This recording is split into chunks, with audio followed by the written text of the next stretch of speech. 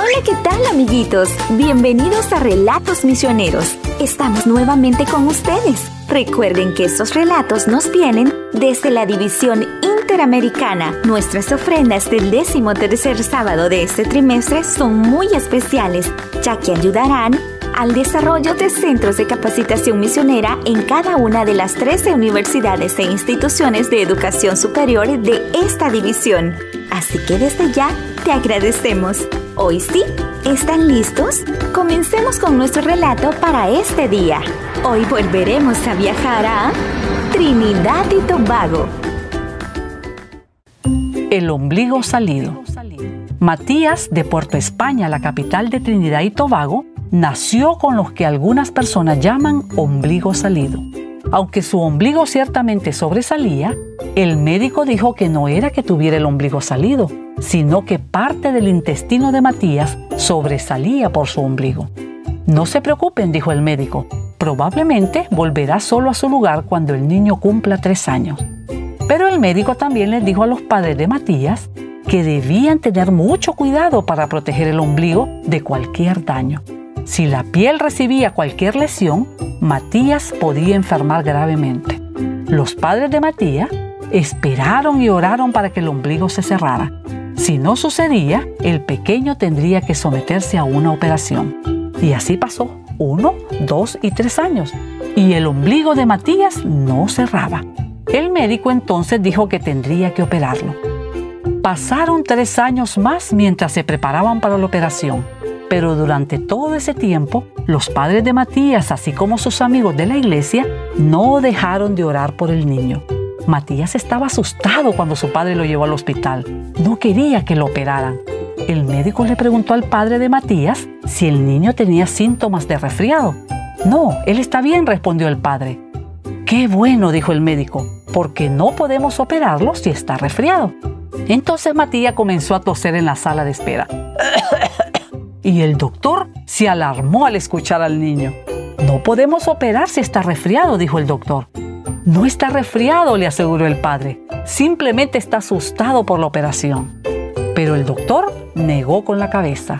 No podemos arriesgarnos, dijo. Tendremos que reprogramar la operación. Matías sonrió de alivio al escuchar la noticia.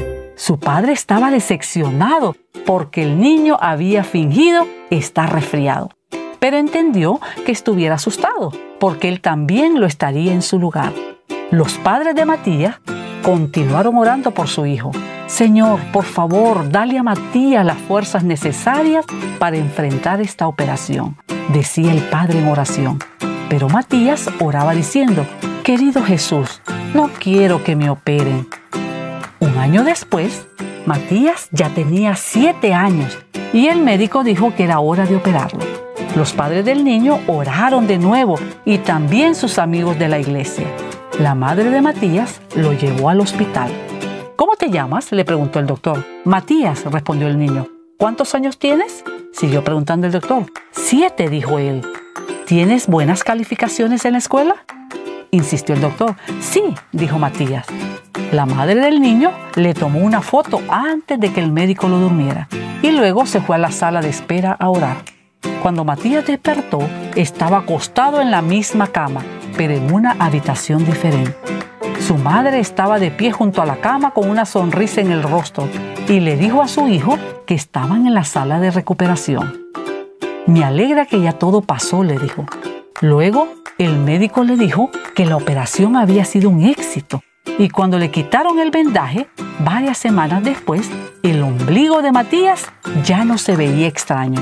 Ahora era un ombligo de aspecto normal. La vida de Matías cambió desde ese día, ya que antes de la operación no podía correr ni saltar para que no le pasara nada a su ombligo. Matías tiene ahora 10 años y es el corredor más rápido de su clase. Él recuerda aquella operación mientras corre y salta en el patio del recreo y siempre hace pausas para agradecer a Dios. Querido Dios, gracias porque la operación fue un éxito. Ora en silencio. La madre de Matías es profesora en la Universidad del Sur del Caribe, en Trinidad. Parte de las ofrendas del décimo tercer sábado de este trimestre ayudará a abrir un centro de capacitación misionera en este campus universitario. Cápsula informativa. El conocido juego llamado Limbo es originario de Trinidad y tiene que ver con la herencia africana de la isla.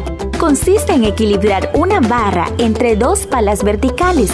Los participantes deben pasar por debajo de la barra inclinándose hacia atrás sin tocarla y solo sus pies pueden tocar el suelo. Después de cada ronda, la barra se baja un poco más. El récord mundial es de 15 centímetros.